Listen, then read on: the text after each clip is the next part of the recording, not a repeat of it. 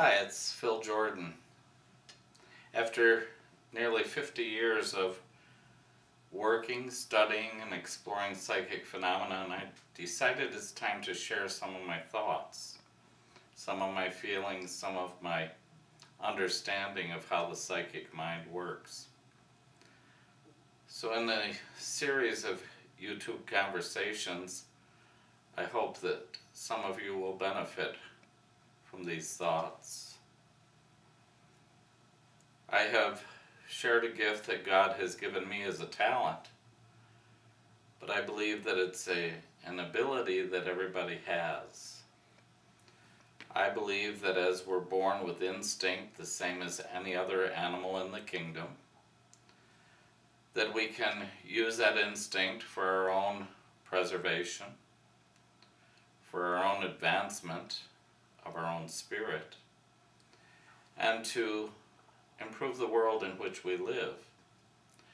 From that basic core instinct, as we come to understand it and know it as part of our being, we can cultivate an intrinsic instinct called intuition. That intuition will help us throughout our life by knowing and understanding not only our own spirit and how it works in the world in which we live, but also to understand the spirits of others, both as they are contained in the body and those that are outside the body after they've made their transition through death. There's been a lot of controversy about intuition and psychic phenomenon from some of the fundamentalist religious people.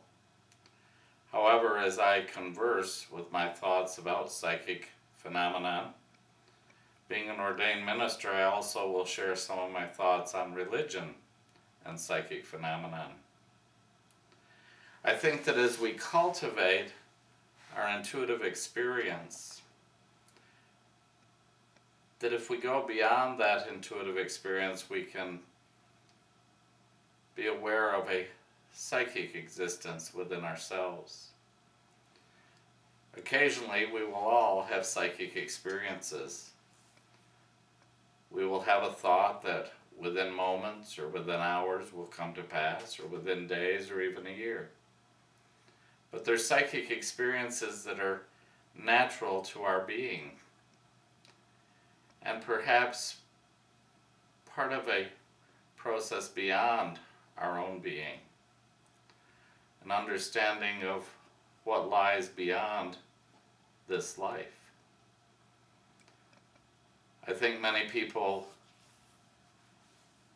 create or cultivate their psychic self out of need. For instance, I was raised in an alcoholic home and I, I had to know when my father was going to be coming home so I could make myself scarce and not be the subject of some of his alcoholic rage. And out of that need, I began to develop an instinct that went into an intuition, into a psychic occurrence where I could tell, even though he may have been gone 12 hours, I could tell within two or three minutes of when he was going to be home. That's just the very early beginning of cultivating my psychic self. I also had the pleasure of being born a twin, and I have a twin sister. And the common bond of telepathy between twins is a very interesting experience psychically the telepathic communication from one to another is rather uncanny. I think that our bond of relationship is connected first and foremost with those in our close love circle. Our family, our parents, our siblings, our grandparents children. And I think that bond of connection is connected to us by the very simple bond of love. Because those people are an extension to us, and we know what is going on in their lives, whether we realize that or not. And we can become aware of the good and the bad, and perhaps even save some heartache or sorrow, or perhaps share in some joy. Is that bond of connection between people that creates for us an understanding that defies explanation.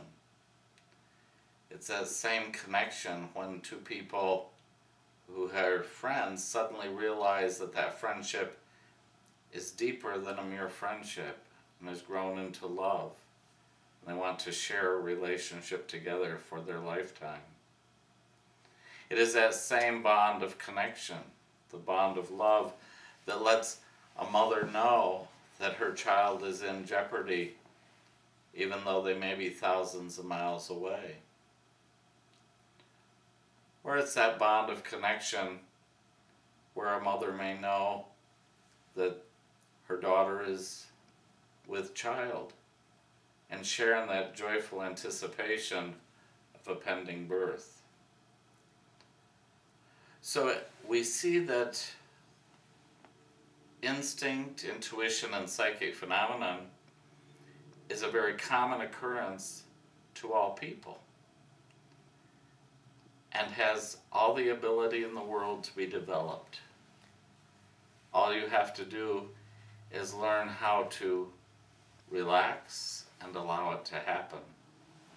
Easier said than done for most people because many people are too critical, too scientific, look too deeply into things. And I think you just have to let go and let your psychic occurrences take place. Our mind is what people think we have to develop in order to experience psychic phenomenon. Although that information comes through the mind because psychic means mental, it's in our hearts that we get the true information, that uncanny feeling within your heart, not your mind, that lets you know that you've had a psychic experience.